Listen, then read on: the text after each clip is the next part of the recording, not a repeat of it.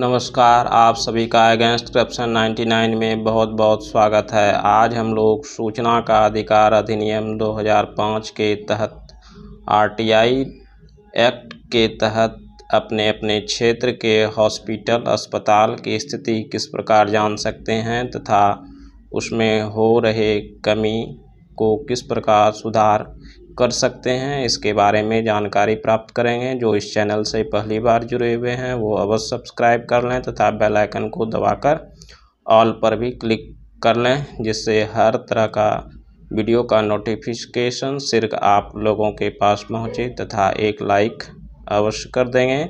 तथा उपयोगी लगे तो एक दूसरे को अवश्य शेयर करें, जिससे इसकी जानकारी हर किसी को आसानी से हो सके तो चलिए आज हम लोग जानेंगे किस प्रकार हम लोग अपने अपने क्षेत्र के प्रखंड या अनुमंडल या जिला के हॉस्पिटल में आरटीआई लगाएँगे।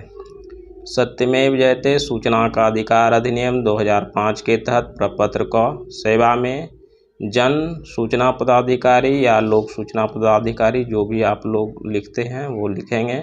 विभाग का नाम लिखेंगे। अगर आप प्रखंड हॉस्पिटल से प्रखंड में जो अस्पताल है, उसमें आरटीआई लगाएँगे तो उस प्रखंड का नाम लिख देंगे, हॉस्पिटल का नाम लिखेंगे, या अनुमंडल से में जो हॉस्पिटल है, उसका लिखेंगे, या ज़िला में जिस भी हॉस्पिटल में आप आरटीआई लगाना चाहते हैं, उसका यहाँ नाम लिख दे देंगे।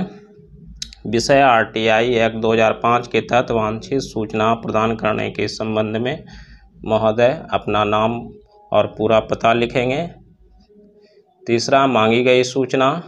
जिस भी आप जैसे यहाँ प्रखंड अस्पताल में लिखेंगे तो यहाँ प्रखंड का नाम लिख दे देंगे। जिला या अनुमंडल, जिस भी अस्पताल में आप आरटीआई लगाएँगे, वहाँ का नाम लिखेंगे। स्थित व स्थान का नाम देंगे, जहाँ अस्पताल स्थित है।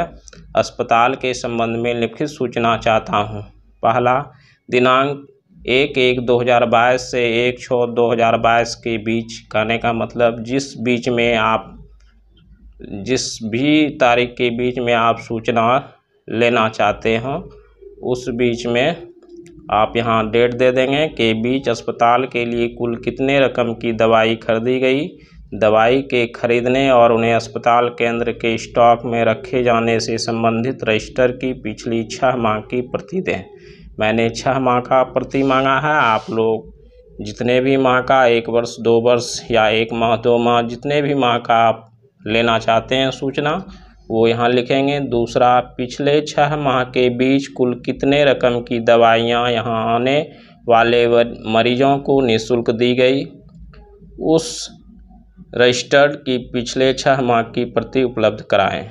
जो भी दवाई अस्पताल में आती है, उसे जो निःशुल्क दिया जाता है, उसका सारा का नाम, पता, डिटेल्स लिखा जाता है कि यह यह दवाई फलाने फलाने व्यक्ति को दी गई है, वह रजिस्टर्ड की छाया प्रति भी आप ले सकते हैं।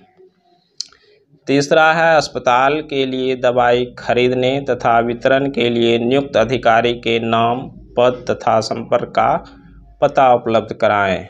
जो भी अधिकारी दवाई खरीदने और दवाई बांटने में जिनका नाम है, पद का नाम हो और उनसे किस प्रकार आसानी से संपर्क किया जा सकता है, उसका पता भी हम लोग ले सकते हैं। चौथा है, इस दौरान जिस एजेंसी से दवाई खरीदी गई, उस एजेंसी का पूरा विवरण, उसका नाम व पते के साथ उपलब्ध कराएँ।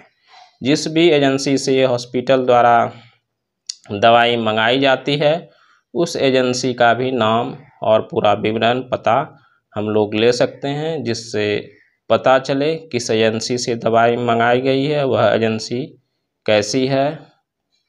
वह सुचारू रूप से चल रही है या नहीं चल रही है? दवा की क्या क्वालिटी देती है? वो सारा आप लोगों को पता लगेगा। इस प्रकार और भी अन्य कुछ पॉइंट पर आप सूचना चाहते हों हॉस्पिटल से संबंधित तो वो पॉइंट टू पॉइंट आप लोग यहीं लिख देंगे नीचे। फिर है शुल्क। किसी भी सूचना को लेने के लिए बिहार राज्य सरकार में दस रुपये का शुल्क रखा गया है। अन्य राज्यों में शुल्क अलग अलग हो सकता है तो अपने अपने राज्य के अनुसार वहाँ शुल्क देंगे।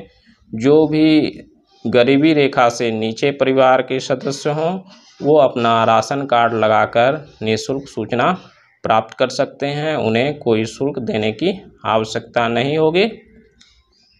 नोट में यदि वांछित सूचना आपके कार्यालय से संबंधित नहीं हो तो आरटीआई एक्ट 2005 की धारा छः तीन के तहत संबंधित पदाधिकारी को स्थानांतरित कर मुझे भी सूचित करें। यदि कभी कभी हो सकता है कि जिस भी कार्यालय में हम सूचना चाहते हैं, उस कार्यालय में आवेदन न भेजकर अन्य कार्यालयों में आवेदन चली जाती है तो इसलिए आरटीआई कार्यकर्ता या आवेदक, आप इस धारा छः तीन का वर्णन अपने आवेदन में अवश्य कर दें, जिससे संबंधित पदाधिकारी को आसानी से आपका आवेदन पहुँच सके तथा आपको शीघ्र ही सूचना मिल सके। अपना हस्ताक्षर कर देंगे, अपना स्थान तिथि दे देंगे। इस प्रकार हम लोग यदि अपने अपने क्षेत्र के हॉस्पिटल में आरटीआई लगाएँगे तो वहाँ की स्थिति अवश्य सुधरेगी तथा जितने भी गरीब व्यक्ति वहाँ जाते हैं, उन्हें सभी दवाइयाँ निःशुल्क मिल सकेगी, क्योंकि अधिकांश हॉस्पिटल में दवाई डॉक्टर द्वारा कई लिखी जाती है, लेकिन सभी दवाइयाँ वहाँ उपलब्ध नहीं कराई जाती है। इस प्रकार हम लोग बार बार अगर अपने अपने क्षेत्र में आरटीआई लगाएँगे तो वहाँ की स्थिति में सुधार होगी और संभवतः है कि वहाँ साया, सारी दवाइयाँ मरीज़ को उपलब्ध निःशुल्क करा दी जाएगी। जय हिंद।